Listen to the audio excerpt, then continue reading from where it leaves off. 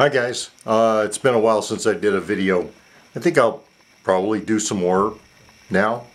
Um, but anyway, uh, I wanted to do just a brief video as a product endorsement. Okay, I'm going to show you something here. This is a new uh, Iwata air compressor. I saw it on um, reviewed on our international scale modeler and uh, I think it was it wasn't Lee it was the other guy there. Anyway he said that it was great you know he unpacked it and showed it to you and everything. And then I was a little bit when I looked it up I was a little bit put off by the price at first. But I recently bought this on eBay uh, for $579 shipping included. And it's a beauty. This thing is just so well designed. This big hoop handle here.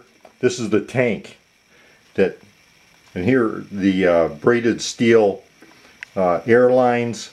Um, it, I'll turn it on for you.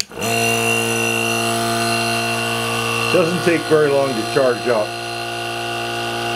There, it's charged. Now, the other thing I like is the uh, control, the air control. It's a lot more precise and better made than the one you get with that cheap Chinese uh, compressor. I, I got the one that costs like 200 bucks or something. I put that out in my garage. I'll use that for my heavy spraying and uh, like priming and things like that. But this is going to be my compressor that I'll use for fine detail painting, camouflage patterns, etc. Um, anyway, I just wanted to tell you, I, I just unpacked it, just set it up, and it works like a champ.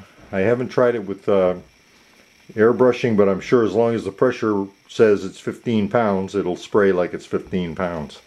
And I won't have to spray at the heavy. Uh, the, the other one, the air regulator, just wouldn't go down that low, you know.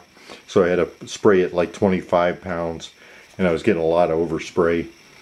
Um, that's about it. So, uh, see you guys soon and uh, I'll show you some of the models I've been working on. And uh, just a spoiler alert they're gonna be tanks. Okay? Bye